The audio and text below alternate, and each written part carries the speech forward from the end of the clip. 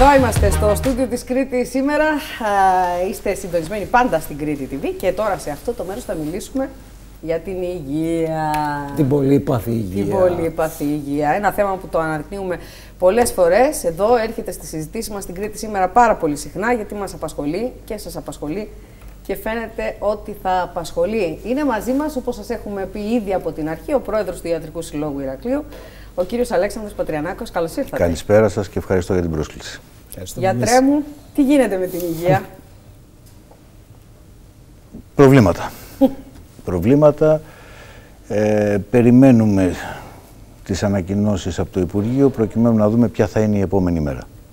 Η επόμενη ε, μέρα που μας βρίσκει με μια πιθανή συγχώνευση. Είδαμε κάποιες ε, ανακοινώσεις, τέλος πάντων κάποιες διαρροές, γιατί επισήμως δεν έχουμε κάτι. Έχουμε κάτι επισήμως. Ε, αυτό που ακούστηκε είναι για την κοινή διοίκηση μεταξύ Βενιζελίου και Παγνή και αφού θέτεται το θέμα της συγχώνευσης νομίζω ότι τα πράγματα είναι λίγο ξεκάθαρα.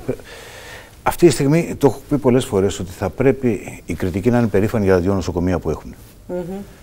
Εγώ έχω κατεβάσει και αν θέλετε σας τους δείχνω τους πίνακες από το Υπουργείο Υγείας.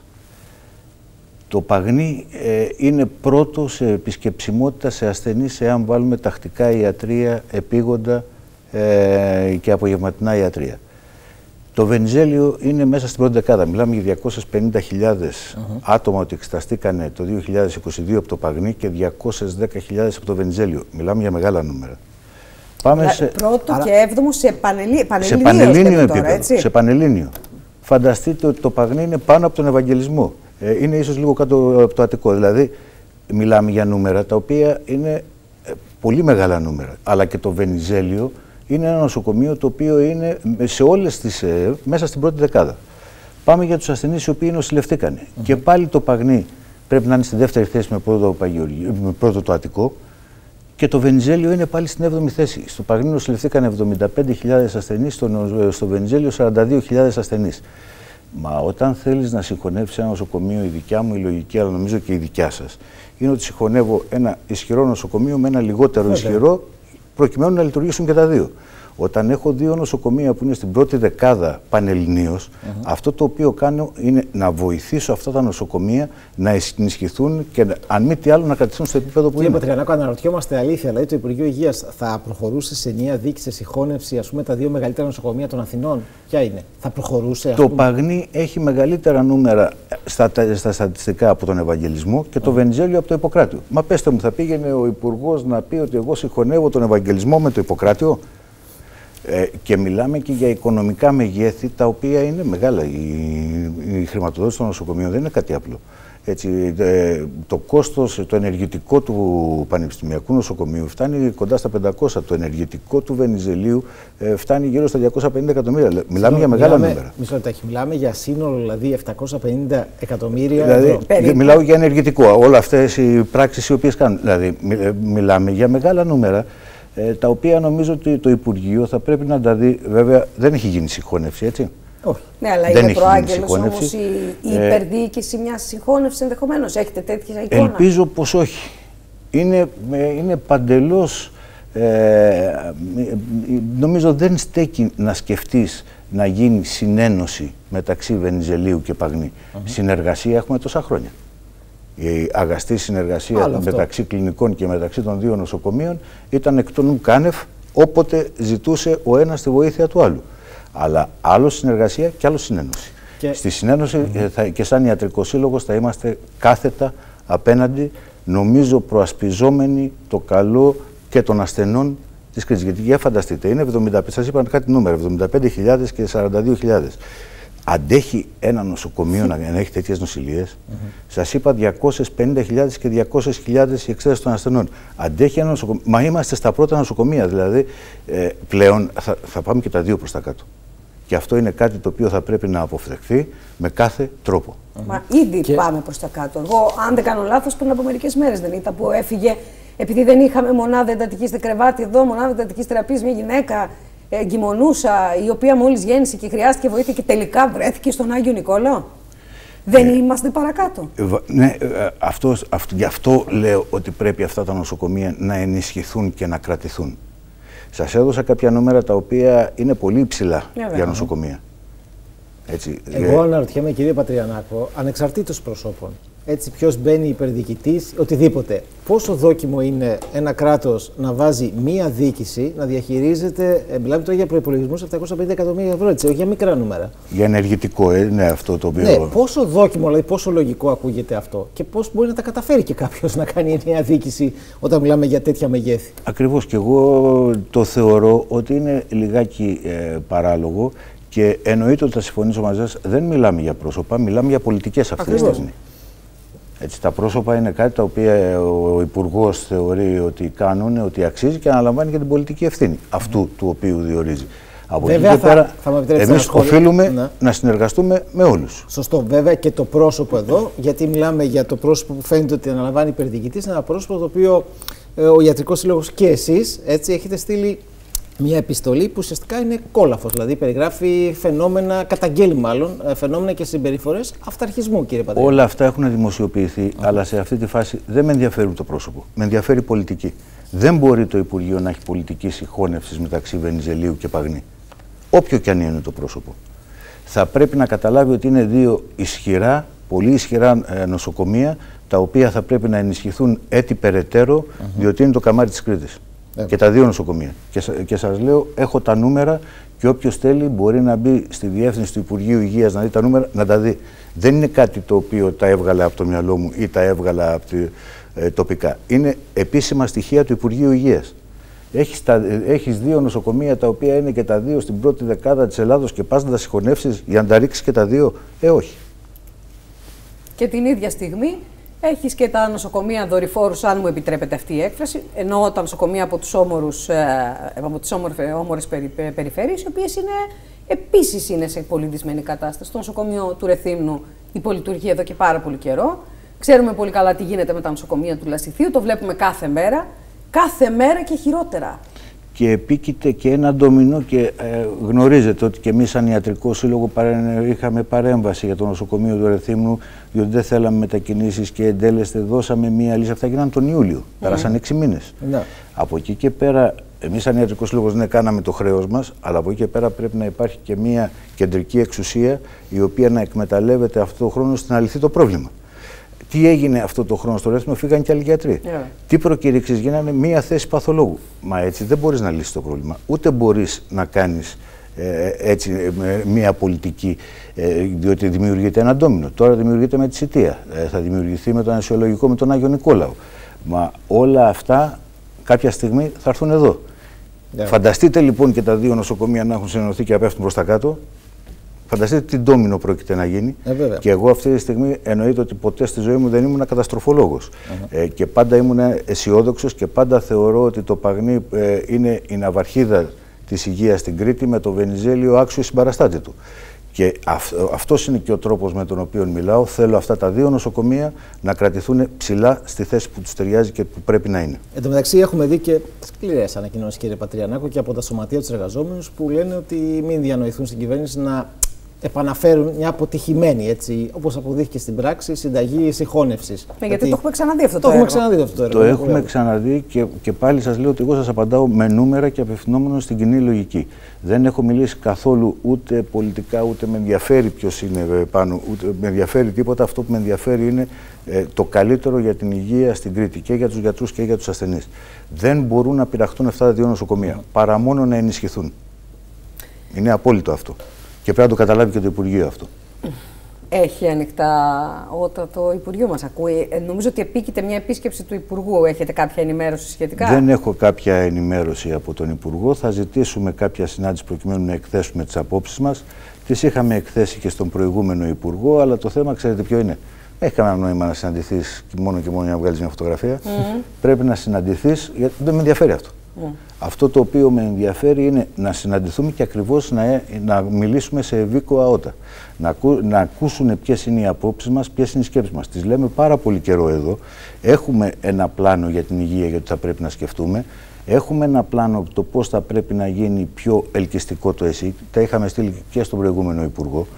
Ε, διότι το πρόβλημα το οποίο θα μου πείτε τώρα εσείς είναι ότι γίνανε κάποιες αιτήσεις, αλλά δεν έδειξαν ενδιαφέρον οι ιατροί. Βέβαια. Αυτό είναι το μεγάλο θέμα. Μα πώς θα δείξουν ενδιαφέρον οι ιατροί αν δεν κάνεις ελκυστικό το εσύ, αν δεν φτιάξεις; Και όταν λέμε ελκυστικό εσύ, τι εννοούμε, δεν είναι μόνο ο μισθός. Είναι και ο μισθός, σαφέστατα, βιοποριστικό. Ε, όλοι κοιτάμε πώς θα ζήσουμε ε, την βέβαια. οικογένειά Δεν δουλεύουμε από χόμπι. Ακριβώς. Έτσι. Είναι το βιοποριστικό. Αλλά από εκεί και πέρα για τόσο ένας ε, ιδιαίτερος εργαζόμενος που θέλει και το επιστημονικό του έργο. Ε, θέλει και την οργάνωση. Δεν μπορείς να λειτουργήσει έναν οργάνωτο περιβάλλον. Θέλει και την, μια, ε, μια καλή ομάδα, θέλει συνεργασία. Βεβαίως. Θέλει ε, και την ενημέρωσή του. Θέλει και μια καλή διοίκηση η οποία να καταλαβαίνει και να βρίσκεται δίπλα του. Θέλει ένα ωράριο εργασίας το οποίο ε, να είναι μέσα στα πλαίσια τα οποία μπορεί να ασκηθεί. Είναι ένας συνδυασμός πραγμάτων. και από εκεί και πέρα, ναι, εμείς καταλαβαίνουμε ότι αν θέλετε να σας πω ο βασικός μισθ, ε, ο μισθός στην Ελλάδα του γιατρού σε σχέση με το βασικό μισθό είναι γύρω στο 1,55. Όταν στην Ευρώπη ο, ε, το, ο τελευταίος, που ήταν, είναι κάπου πρέπει να είναι η Βουλγαρία ή η Πορτοκαλία, είναι 4 ναι. και η Ρουμανία είναι 9. Εντάξει, καταλαβαίνω ότι σε μία δεν μπορούν να μας διπλασιάσουν τους μισθούς. Ε, ναι, αλλά μην μας αφήσεις και εκεί που είμαστε και δώσε και μια προοπτική για αυτό το εσύ, έτσι ώστε να ξαναρθούμε ώστε να ξαναρθούν μέσα. Η απάντηση από το Υπουργείο Υγείας, κύριε Πατριανάκο, ποια είναι ότι ναι, και εμείς θα θέλαμε ως Υπουργείο Υγείας να γίνουν αυτές οι αξίες, αλλά δεν μας αφήνει το Υπουργείο Οικονομικών, δηλαδή δεν μας επιτρέπει η οικονομική πολιτική αυτό μας και είχε, μεγέθη. Αυτό μας είχε πει ο κ. Χρυσοχοίδης. Ένα από αυτά που του είχαν πει ότι εντάξει, συμφωνούμε μαζί σας είναι ότι ε, βάλει αφορολόγητο εφημεριών. Δεν σας λέω δώστε μου πιο πολλά λεφτά, αλλά βάλτε μου αφορολόγητο. Mm. Εσείς με αναγκάζετε να κάνω τις εφημερίες. Γιατί μου τις φορολογείτε με, που φτάνει μέχρι, 20, μέχρι 45%. Γιατί, ναι. γιατί το κάνεις αυτό; Την ίδια ώρα, ε, βέβαια, που έρχονται τα μπλοκάκια χωρίς φορολόγηση. Ναι. Αν θυμάστε, βγήκε και ο Μητσοτάκης και μίλησε κάποια στιγμή ναι. ο Πρωθυπουργός για αφορολόγητο εφημεριών. Ναι. Το οποίο πήγε σκανδένε. Mm -hmm. Μιλήσαμε για αφορολόγητο των απογευματινών ιατρών. Γιατί, ναι, απογευματινά ιατρία, απογευματινά ιατρία είναι πολλές ώρες εργασίας. Δεν είναι έτσι. Να πούμε λίγο για τα απογευματινά ιατρία, ναι. κύριε Και κυρίως για τα απογευματινά χειρουργία, θέλω να μας πεις. Ε, εμένα, ε, τα απογευματινά χειρουργία υπάρχουν στο νόμο από το 2010. Είναι από τον αρχικό νόμο του Παπαδόπουλου για, τα, για την ολοήμερη λειτουργία των νοσοκομείων. Δεν λειτουργήσανε. Ε, τώρα γιατί θα λειτουργήσουν, να γίνουν πιο οργανωμένα και να φτιαχτούν καλύτερες τιμές. Μα θα σας πω ένα παράδειγμα. Το Βενιζέλιο μένει με δύο ανησιολόγου. Μπορεί να κάνει απογευματινά χειρουργία. Μήπως δεν κάνει πρωινά πια και κάνει μόνο απογευματινά που ε, θα στο νόμο, στο νόμο, όπως και στο νόμο των απογευματινών, εγώ δηλαδή για να κάνω κάποιες πράξεις απογευματινές πρέπει να έχω κάνει και τις αντίστοιχες πρωινές, αλλιώς δεν πληρώνομαι. Άρα νομίζω ότι αυτό. Υπάρχει μια δικλίδα ασφαλεία δηλαδή για τους ασθενείς. Ναι, ότι αν δεν κάνεις τα αντίστοιχα πρωινά, δεν κάνεις απογευματινά. Και να ξέρετε, το απογευματινά λειτουργία, ε, η, απογευμα, η ολοήμερη λειτουργία ε, λειτουργήσε πάρα πολύ καλά και μείωσε πάρα πολύ τις λίστες. Mm. Τώρα όμως για τα απογευματινά χειρουργία πρέπει να είναι, είναι κάτι διαφορετικό. Πρέπει να υπάρχει ο, ο χειρουργός, ο ανεσιολόγος, ο νοσηλευτής, ο μεταφορέας. Πρέπει να είναι ενήμερη η μονάδα. Ε, θέλει μια πάρα πολύ καλή οργάνωση. Ε, εγώ δεν είμαι εναντίον, είμαι υπέρ θα έλεγα, διότι εάν δεν θέλουμε να κρυβόμαστε και πίσω από το δάχτυλό μας. Εάν μου πεις τώρα ότι εγώ θα περιμένω τρία χρόνια στο Παγνί για να χειρουργηθώ, ε, μα συγγνώμη, αυτό δεν είναι δημόσια υγεία. Ε, όχι. Έτσι είναι. Έτσι. Και ένα κομμάτι βεβαίως, είχαμε και προσφάτως νομίζω παρέμβαση από τον Ιατρικό Σύλλογο, είναι και οι ψυχιατρικές κλινικές που είναι τόσο ναι. υποστελεχωμένες, και οι παιδοψυχιατρικές και οι ψυχιατρικές. Και βρέθηκε λύση, αλλά μετά από δική σας παρέμβαση, έστω προσωρινή, έτσι. Μαζί, με, μαζί με την ε, διευθύντρια, την προσωρινή διευθύντρια, την κυρία Μπάστα, ναι, δόθηκε μία λύση, διότι με, όταν συζητάς και όταν σέβεσαι τον άλλον, τα πάντα μπορούν να λυθούν. Ε, η λύση η οποία δόθηκε ενώ επί τρεις μήνες είχε περιέλθει ένα τέλμα ναι. ήταν μέσω μιας ειλικρινούς συζήτησης με τη γιατρό από το Βενιζέλιο, η οποία αποδέχθηκε δηλώνοντας ότι έρχομαι διότι εκτιμώ ιατρικά και μπορώ να συνεργαστώ με αυτούς τους ανθρώπους. Ναι. Από την άλλη, όπως λέτε και εσείς, με ένα από τα κύρια ήταν ότι δεν θέλουμε εμβαλωματικές λύσεις. Ναι. Ε, σε αυτή την περίπτωση η απάντηση ήταν ότι ναι, αλλά υπάρχει ένα σχέδιο. Ποιο είναι το σχέδιο; Κληρώ, ε, ήταν σε κλήρωση για να πάρθουν δύο ειδικευόμενοι στην παιδοψυχιατρική. Έχει, θα προκηρυχθεί η θέση του πανεπιστημιακού, όπου έχει βρεθεί ένα άτομο το οποίο θέλει να εκδηλώσει ενδιαφέρον. ότι θα προκηρυχθούν οι θέσεις ε, του ΕΣΥ, όπου αν αρχίζει και δημιουργείται μια κλινική, πλέον όλοι θα θέλουν να πάνε. Όταν είναι μια διαλυμένη κλινική, δεν θέλει κανείς να πάει. Ε, βέβαια. Λογικό δεν είναι. Μα πώς θα λειτουργήσει, πώς θα κάνει ο άνθρωπος σε αυτέ Οπότε ερχόμαστε στην αρχή της κουβέντας ότι ένας γιατρός ε, είναι λίγο διαφορετικό σαν εργαζόμενος, αλλά και εσείς δεν θα πηγαίνατε σε ένα κανάλι το οποίο δεν θα ήταν οργανωμένο. Ε, βέβαια. δεν θα μπορούσατε να λειτουργήσετε, δεν θα μπορούσατε να προσφέρετε. Ε, συν όλα αυτά ότι είχε βρεθεί και ο παιδοψυχίατρος που θα έρθει από την Αθήνα με την προϋπόθεση ότι θα πρέπει να προσληφθεί στην Αθήνα ένας επικουρικός που όλα αυτά υπήρχε ένα σχέδιο το οποίο καταρτήσαμε με την ε, κυρία Μπάστα και την ευχαριστούμε πάρα πολύ και όπως και τη γιατρό από το Βεντζέλιο και δόθηκε μία λύση για να δοθεί ένα περιθώριο ώστε να δοθεί πιο μόνιμη λύση. Από εκεί και πέρα, συγγνώμη, αλλά πλέον η, η μπάλα είναι στο γήπεδο του Υπουργείου. Σωστά. Και να ξέρετε ότι την πρώτη μέρα με την οποία άνοιξε η κλινική και λειτουργήσε με αυτή συγγνώμη, τη λύση, νοσηλεύτηκε ένα παιδί σε πολύ κακή κατάσταση. Το οποίο θα έπρεπε να γίνει σε οποιαδήποτε άλλη περίπτωση αεροδιακομιδή. Ε... Άρα εδώ από με αυτά που μας λέτε καταλαβαίνουμε ότι καμιά φορά δεν θέλει και κόπο, θέλει τρόπο κύριε Πατριανάκο. Αυτό τρόπο και σχέδιο. Τρόπο και σχέδιο, αυτό καταλαβαίνουμε. Αεροδιακομιδή, ε. Είχε λειτουργήσει παιδοψυχιατρική. Έγινε εισαγωγή. Ε, αυτό είναι εκείνη που αισθάνεσαι ότι κάτι κάνεις. Γιατί αλλιώς, αν είναι να μιλάς, να φωνάζεις και να μην εισακούγε και να μην κάνεις τίποτα, ε, δεν έχει νόημα από ένα σημείο και έπειτα. Το θέμα είναι πρέπει να βλέπεις και αποτέλεσμα. Γι' αυτό και σας είπα ότι και με τον Υπουργό δεν έχει νόημα να πάμε βγάλουμε μια φωτογραφία. Έχει νόημα να κάνουμε μια ειλικρινή κουβέντα. Αλλά να ξέρω ότι θα είναι ειλικρινή η κουβέντα και να ξέρω ότι αυτά που θα υποθούν είναι πράγματα τα οποία μπορούν να μετουσιωθούν στην πράξη έτσι ώστε να έχουμε μια καλύτερη υγεία για την οποία αγωνιζόμαστε όλοι.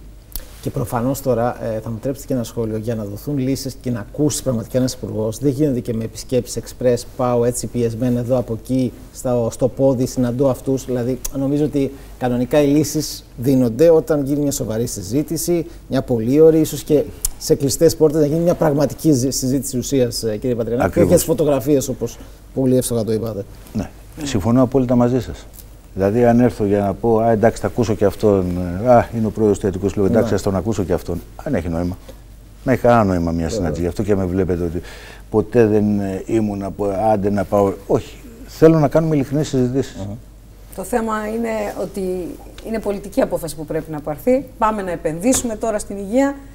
Τώρα να επενδύσουμε στην υγεία, γιατί αλλιώς χαθήκαμε.